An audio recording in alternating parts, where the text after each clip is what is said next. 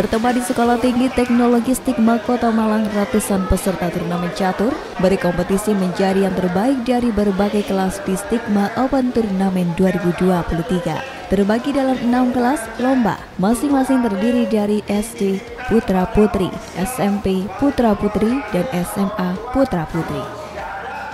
Perlombaan catur digelar sebagai ajang olahraga melatih keterampilan otak dan strategi dalam pembinaan atlet berbakat usia dini. Seiring dengan visi misi stigma yang berorientasi pada pengembangan edukasi analitik dan logika berpikir dalam ilmu komputer. Stigma Open Cheese Turnamen 2023. Apa itu Pak?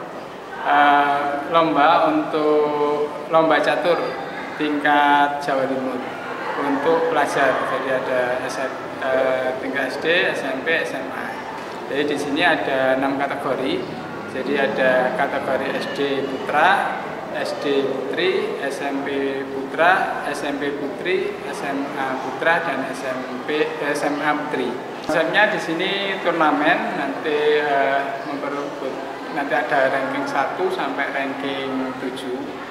Jadi untuk setiap kategori dengan hadiah total itu uh, untuk uang 6 juta untuk beasiswa senilai 12 juta selain itu juga ada uh, hadiah prize untuk uh, pelajar yang uh, memenangkan uh, hadiah uang maupun hadiah beasiswa.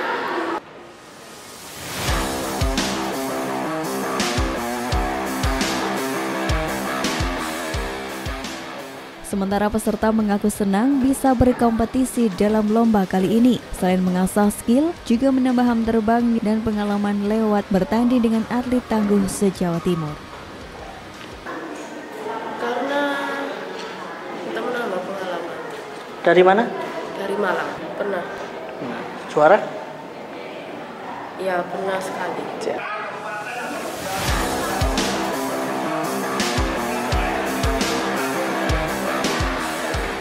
Mengusung permainan Open Turnamen akan disaring tujuh juara untuk setiap kategori. Pemenang berhak membawa hadiah beasiswa dan hadiah utama 12 juta rupiah. Dari Malang, Jawa Timur, Dion Arista, ATV melaporkan.